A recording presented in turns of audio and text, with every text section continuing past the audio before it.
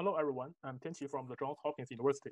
I'm glad to share the recent work from our group, and the title is Connections Between Residual Networks and Explicit Numerical Integrators with Applications to the Identification of Nonlinear Dynamical Systems. Now we use a very simple case to give you some first impression of non-invertibility. Consider a scalar ODE that dx over dt is equal to some quadratic function of x with an appropriate initial condition x0. We know that the solutions for the ODE are unique once they exist. So we are good to go, no matter forward or backward time. But if we are considering a numerical integrator, for example, the forward Euler scheme, as you see, it is easy to see its forward integration is good. For any value of xn, we could get a unique value of xn plus 1. Well, if we are trying to find where a point comes from, no matter how accurate the integrator is, will fall into trouble, as there might be two inverses or no inverses at all, independent of its accuracy. There's something unusual about the nature of the integrator, a phenomenon that shows non-uniqueness in backward time integration. We call it non-invertible.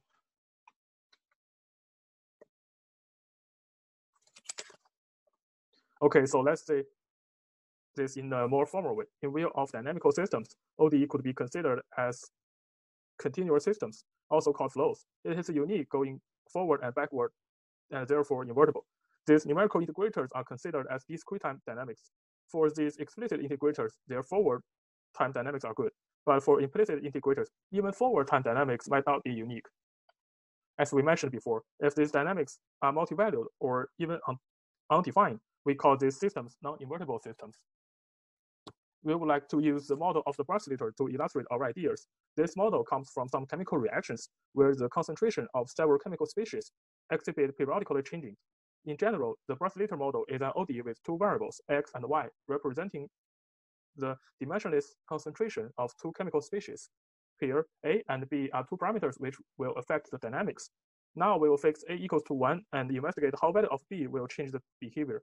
Furthermore, we could also use forward Euler approximation to change the model as discrete time dynamics, where tau here is a positive time step, and we will fix the, its value as 0.15 for further discussion. We could also see the evolution of the states. Here, we use the cases of b equals to 1 and b equals to 3. At first, both systems share the same fixed point. And for b equals to 1, the fixed point is an attractor for both, system, both systems. And this point will become unstable for a larger value of b, indicating the occurrence of Hopf bifurcation at some value of b. More specifically, for ODE, the eigenvalues of Jacobian matrix are purely imaginary when the Hopf bifurcation happens. And for the map, that the, the same eigenvalues of Jacobian matrix will be located on unit circle when the Hopf bifurcation happens. There are also some difference for both systems. The evolution of ODE is smooth, while the Euler map has some jiggling and at the bottom right region of the state space plot. Although they both form uh, a big attractor for case of b equals 3. But the OD, we call it limit cycle, but for the map, it's invariant circle, and they are not the same thing. We should say the difference of the Euler map compared with OD results from the pathology of discretization. Also, same thing as non-invertibility. Now we are going to take a look at the backward time dynamics of this Euler map. First, we re rearrange the equation of xn plus 1 and substitute this into equation of yn plus 1. If the values of xn plus 1 and yn plus 1 are given, we could get a cubic equation of xn. And this equation will probably have one, two, or three distinct real roots. Now we'll consider the inverses of points that are located on this attractor, which color in blue in these figures. For case of b equals to 2, the attractor is a small invariant circle. For every point on this circle, their images should be still located on this attractor. However, when we just consider the inverses of this point, there must be one of the inverses still located on this circle. But when we solve the cubic equation, we could find there are two extra inverses with one located on its left and the other one is on its right. Moreover, when we traverse through all points on the attractor, the roots on the left and the roots on the right will also form a closed loop respectively, shown in green and orange in these figures. When we, when we increase the value of b, the size of the attractor will be increased. For the case of b equals to 2.5, the blue and the orange curve are intersecting at one point, showing this one should representing the roots with multiplicity 2. for a larger value of b. The blue one and the orange one intersect at a bigger region, indicating a more complicated backward time dynamics. Please allow me to mention again, these green and orange loops are not the correct inverses we really want. These, image, these images, as well as these chaotic dynamics, would never happen in the ODE case. These are pathological results due to discretization and non-invertibility as follows. So we want to make sure these extra pre-images stay far away from our simulation. For example, how far are they go from the attractor? We noted that inverse function theorem is a good tool for us to understand the backward time dynamics. This theorem says if a continuous differentiable function f is a mapping from Rn to Rn, and its Jacobian determinant at some point p is non-zero, then f is invertible near this point p. Later on in literature, we find that there are two sets where J0 is a collection of all points that have zero Jacobian determinants, and J1 is the image, image of every point belongs to J0. Now we will use a logistic map as an example to illustrate these concepts. We could derive that for this logistic map, J0 and J1 represent the x coordinate and y coordinate of the vertex of the parabola, which is shown in point B in this image. And if xn plus 1 goes from above point B, approaching point B, and then below the point B, the number of its inverses are changed from 0, 1 to 2. Moreover, if you have a point A in this figure, then you are free to go left as the dynamics are always invertible on its left. But when you go right, you need to be careful and to stop until you meet with point B, since going through point B will make your curve not never monotonic. But if we are only considering if there is any point that has the same image as XA, you can go through point B but stop before point C, as A and C have the same y coordinates. So at this time, we know J0 and J1 could be considered as extensions of turning points and local extrema.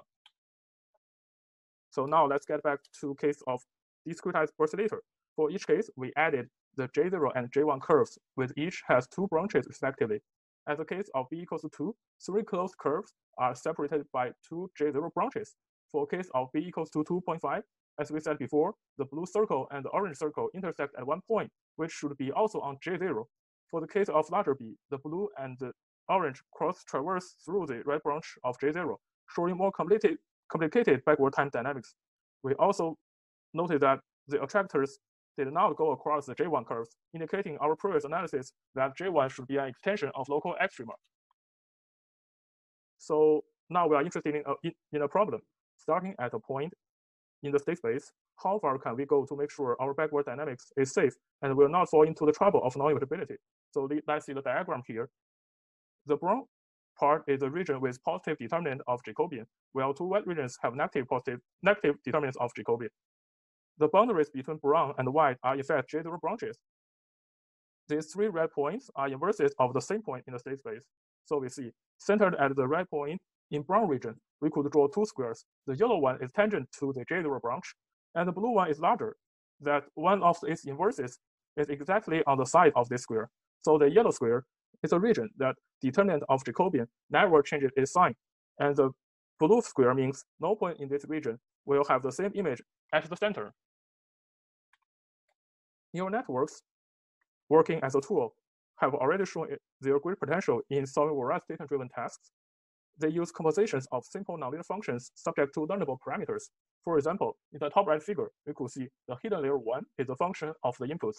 The hidden layer 2 is a function of input hidden layer 1, while the outputs are function of hidden layer 2. In this work, we are considering the performance of the neural network in regression tasks. That is, if it could be used for approximation of some dynamical systems now we are going to see if a neural net could be able to learn this Euler map of the Brusselator model. Here, our network has three inputs, xn, yn, and b, as well as two outputs, xn plus 1 and yn plus 1. The network consists of two hidden layers and use sigmoid function as its activation function. Once it is well trained, we could use the network function to find the evolution of states, fixed point, and Hopf bifurcations. For each value of b, we could also set the determinant of Jacobian equals to zero to get J0 curves.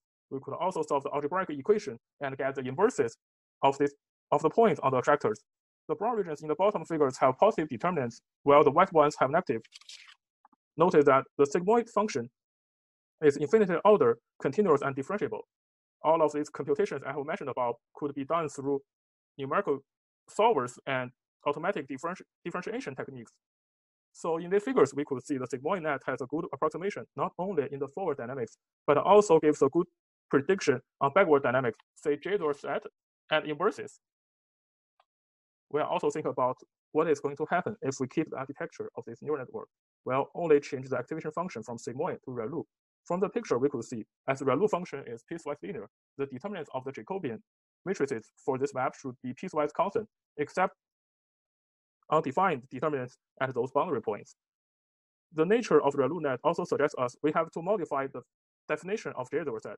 Moreover, due to non-differentiability of ReLU function, it is it will cost us more computational resources and it will become more difficult, although we might have similar results compared with the sigmoid net. So now we we have realized that if we are trying to learn the map of the system, we are likely to encounter the pathology of non-invertibility. One way to avoid this is to learn the flow instead of a map. Although our dataset is in discrete time, we could consider the relation from xn to xn plus 1 is exactly a forward Euler step. ResNet is a kind of neural net that has similar architectures with Euler method. The input of ResNet is xn, and the output is a combination of two parts. One is the neural net function f works on xn, and the other is the identity function. So we know once the ResNet is well trained, we could get a good approximation of the derivatives. Then we could integrate this, this derivative term to get the trajectory of the flow. The bottom figures show that the ResNet has really good performance, not only in approximating the ODE flow trajectories, but also the vector field. Notice that the ResNet is heuristic by the forward Euler method.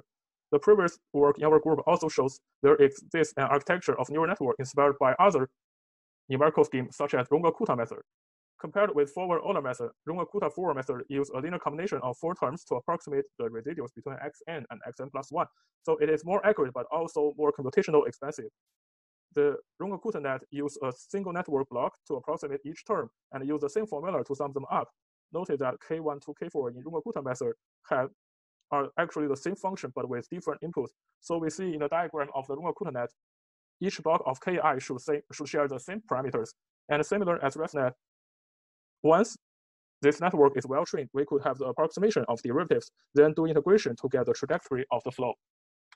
There is also another way to avoid non-invertibility. That is, if we are still trying to learn the map, but if the map itself is invertible, we have to design the network with special architectures and constraints. One typical architecture called invertible ResNet has the same architecture with normal ResNet, but in addition, restrict the norm of weights less than one. Researchers also show that show the way called fixed point iteration to guarantee the uniqueness of inverses. The other work called RevNet that has two inputs and two outputs, as well as two independent network blocks, F and G, that could uniquely determine the forward path and the backward path of this big architecture. And we could find this network, in fact, is a mixing of forward Euler step and backward Euler step heuristic by ODEs of X and Y's. To sum up, we have shown the concept of uninvertibility and put out our attention into discrete time nonlinear dynamics. We use the oscillator model as an example to discuss its properties like fixed point, Hopf bifurcations, and non-invertibility in its discretized version. We also point out this concept could be applied into the neural network. And we are now working on other types of neural networks to find these pathologies such as, as LSTMs. Last but not least, we revealed that there are two ways to avoid the non-invertibility in approximating dynamical systems, for example, like to learn the flows instead of the maps. Here are the references I have used. Thanks for your time.